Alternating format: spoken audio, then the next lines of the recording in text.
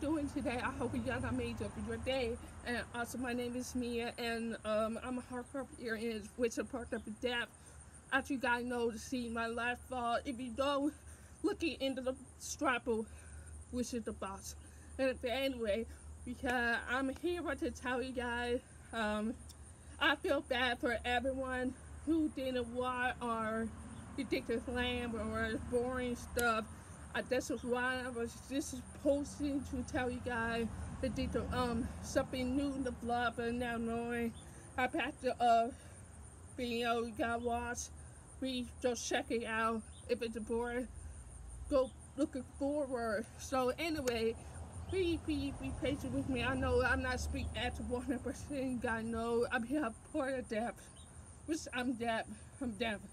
I'm born deaf, and um, so like 2015, my dream, I want to go. My dream is coming true. I want to become a YouTube. A lot of stuff I want to be. So I'm wanting to be better for my life, for my family. I'm, you know, it's hard as the situation with my family right now.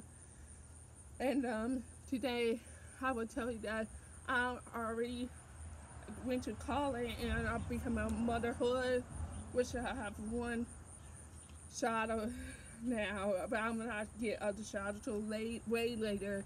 So anyway, but please, please, please please leave it um a chance you guys to support um for me to um get better of this video so make sure you guys subscribe to my channel and hit the bell. Keep more the video and make sure to smash that like this video.